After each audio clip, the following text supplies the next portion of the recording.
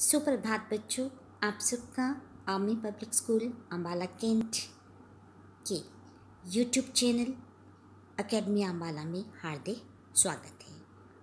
बच्चों, जैसे कि हमने पिछली कक्षा में आपकी पाठ्य पुस्तक खुलते पंख, पाठमाला पाँच के पाठ आठ, कविता दादाजी नाराज़ हैं का अध्ययन किया, जिसमें कि अध्यापिका ने आपको बताया कि जब हम पठन करें तो उसको लय के साथ करें।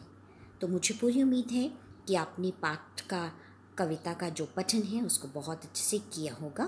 अब आज की कक्षा में मैं आपको इस कविता की पंक्तियों का क्या अर्थ है मतलब इस की व्याख्या क्या है, उसको समझाने जा रही हूँ। इस कविता के कवि जो हैं, वो हैं नवीन सागर जी। उन्होंने बहुत ही अच्छे शब्दों में, सरल शब्दों में इस कविता को लिखा है, जिसे पढ़कर कोई भी बहुत आसानी से ये समझ सकता है कि आज के युग में हम सब अपने से बड़ों को सम्मान देना, उनका आदर करना, उनकी देखभाल करना, किन्हीं जिम्मेदारियों की वजह से हम चूक गए हैं। जो कि हमें नहीं करना है। और इस कविता के माध्यम से कवि ने हमें यह समझाने का प्रयास किया है कि हमें अपने बुज़ुर्गों का, जो भी हमारे घर पर हमारे दादा दादी हैं, नाना नानी हैं, उनके साथ समय बिताना बहुत ही आवश्यक है। क्योंकि जब वो बूढ़े हो जाते हैं तो वो, जो उनका स्वभाव है, वो बिल्कुल बच्चों के जैसे हो जाता है। इसलिए कवि ने कविता की पंक्तियों में हमें यह संदेश दिया है कि हमें अपने घर पर जो भी बुज़ुर्ग हैं, उन्हें समय देना चाहिए। तो चलो, कविता की पंक्तियाँ पढ़ते हैं। दादाजी नाराज़ हैं, रोज़ रहा करते हैं, वे क्या आज हैं? मतलब आपको पता है कि दादाजी नाराज़ हैं, लेकिन रोज़ रहा करते हैं। तो इससे हमें कोई फ़र्क नहीं पड़ता, ऐसे हमें नहीं करना है।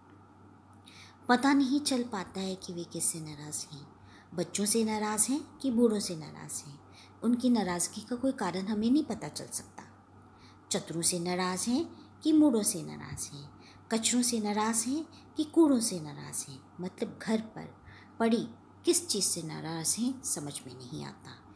चोटी से नाराज़ हैं कि जोड़ों से नाराज़ हैं? दादाजी नाराज़ हैं, रोज़ रहा करते हैं, वे क्या आज हैं? कई बार ऐसा होता है। कि जो हमारे घर के बड़े बुज़ुर्ग हैं, कई बार हमारे पहनावे को लेकर, हमारे तैयार होने को लेकर छोटी छोटी बातों पर छोटी छोटी पाबंदियाँ लगाते हैं। लेकिन हमें उनकी किसी भी बात का बुरा नहीं मानना है।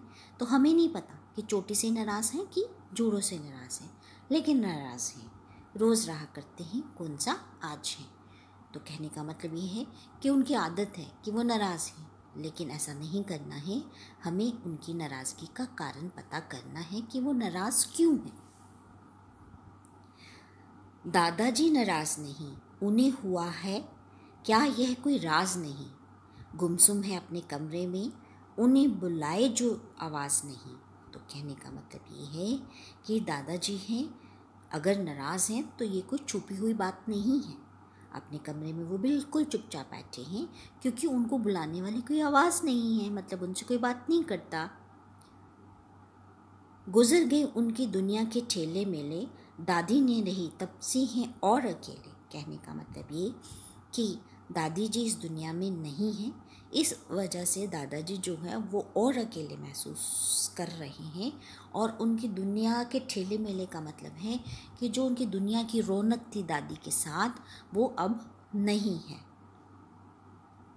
इसलिए वो अपने आप को बहुत अकेला महसूस करते हैं। कहाँ चले बच्चों उनको साथ लो? तो कहने का मतलब ये है कि दादाजी जब भी अपने आप को अकेला महसूस करते हैं तो हमारा कर्तव्य बनता है कि हम उनके साथ खेलें बिल्कुल वैसे ही जैसे बच्चे एक दूसरे के साथ खेलते हैं। अपनी नरम हथेली में अब उनका हाथ लो ले जाओ उन्हें बगीचे के फूलों में, अपने साथ झुलाओ उन झूलों में, फिर देखो लड्डू की चोरी करने में। कहने का मतलब ये है कि जब इंसान बूढ़ा हो जाता है तो वो बिल्कुल बच्चा बन जाता है। बच्चों जैसी हरकतें करता है। आपने भी सुना होगा कि जब आप घर जाते हैं, गाँव में छुट्टी तो आपके दादाजी आपके साथ बिल्कुल वैसे खेलते हैं, जैसे कि छोटे बच्चे खेलते हैं। और कई बार ऐसा भी होता है कि अगर वो किसी भी खेल में हार जाएँ तो बिल्कुल वैसे ही जिद करेंगे वैसे ही चीटिंग करने का प्रयास करेंगे, जैसे कि छोटे बच्चे करते हैं। आपने ये अनुभव पक्का किया होगा? तो अगर, जैसे छोटे बच्चे हैं, घर पे मम्मी ने मीठे मीठे लड्डू बनाए हैं तो बच्चे जो हैं, कुछ तो मम्मी के देने पे खुशी से खाते हैं, और जब मन करे और मम्मी कहे कि नहीं, बहुत ज़्यादा मीठा हो गया, लेकिन फिर वो लड्डू की चोरी करने के लिए भी तैयार हो जाते हैं। तो दादाजी की वो लोग अपने साथ लड्डू की चोरी में साथ तुम्हारे ये भी चल फंस सकते हैं। मतलब अगर बच्चों ने चोरी की है, वो लड्डू लेंगे तो वो भी आपके साथ फंस सकते हैं। हँसते हो जिस तरह, उस तरह वे अब भी हंस सकते हैं। तो कहने का मतलब ये है कि जब आपकी चोरी पकड़ी जाती है तो आपको बड़ी ऐसी अजीब सी हँसी आती है। तो अगर दादा की चोरी पकड़ी जाएगी तो वो भी बिल्कुल आपकी तरह ही हंसेंगे। चूको मत वे कल नहीं रहेंगे, आज हैं।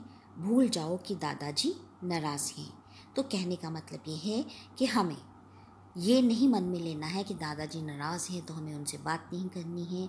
आप उनसे बात करिए, उनको खुश रखने का प्रयास करिए और उनको अपने खेल में शामिल करिए और उनको कभी भी अकेला मत छोड़िए। ये कविता जो है ये हमें सीख देती है कि हमें अपने से बड़ों को कभी भी अकेला नहीं छोड़ना चाहिए।